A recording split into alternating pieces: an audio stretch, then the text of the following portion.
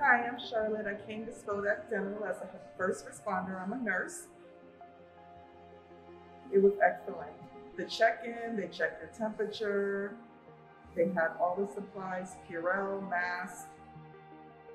The doctor was great. My experience was positive. He was all gowned up like you do at the hospital.